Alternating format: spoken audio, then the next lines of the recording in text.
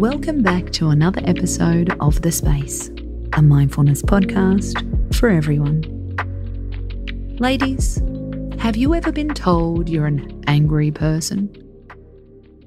We've got a bit of an issue with calling women angry. Are you really angry? Or do you just have a strong opinion? Are you passionate? Are you vocal? Do you know how to set and keep your own boundaries? There are also inequalities in life that we should all be pissed off about.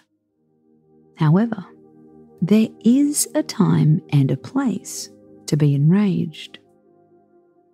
Being angry before bed doesn't do us any favours. That's why we have a meditation for passionate, fiery women this meditation is going to cool your fire just for now.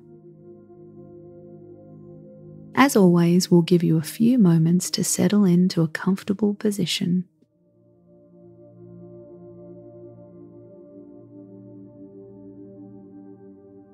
Usually, we recommend breathing in and out through your nose. If you would like, you can try another technique, which is said to cool your body and emotions. Purse your lips together as if you were breathing through a straw. Inhale through your lips. Now close your mouth and exhale through your nose.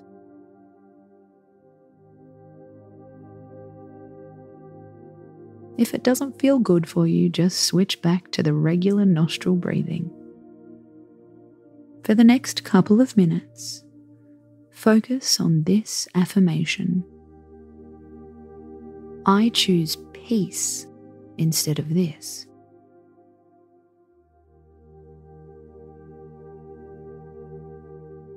For you, this could be anger. It could be a grudge you've been holding. I choose peace instead of this.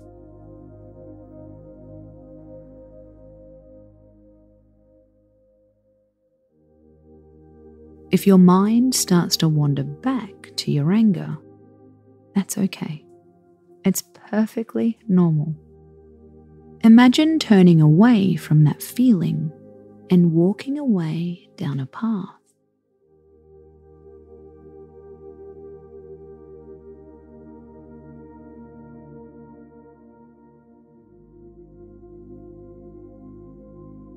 Feel the distance between you and that emotion grow further and further.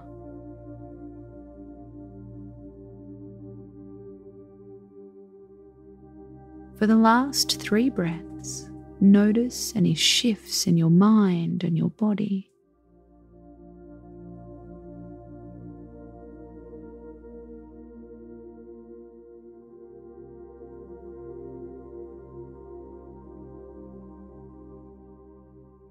Be amazed by your ability to shift your emotions.